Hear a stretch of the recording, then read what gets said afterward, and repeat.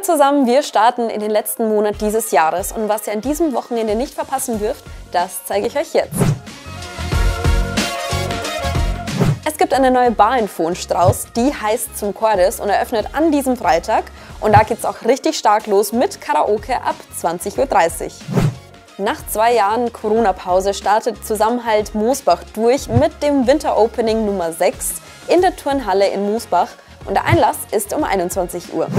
Für alle Junggebliebene gibt es am Samstag eine Ü30-Party im Hotel Grabinger in Büchelkühn. Die startet um 19.30 Uhr. Und am Sonntag erwartet euch die Waldweihnacht in Weiherhammer rund um die Blockhütte von 15 bis 20 Uhr und da könnt ihr euch richtig schmecken lassen. Euch allen ein wunderschönes erstes Dezemberwochenende und bis bald!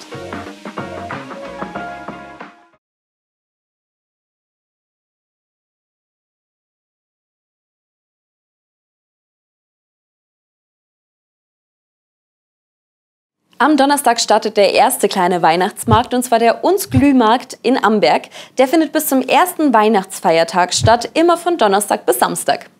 Am Freitag veranstaltet der SV Neusorg eine 80er, 90er und 2000er Party im Sportheim. Die beginnt um 20 Uhr.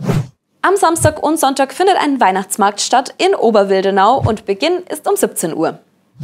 Und eine Winterkirche gibt es auch noch. Die DJK Dürnsricht veranstaltet eine ab 19 Uhr.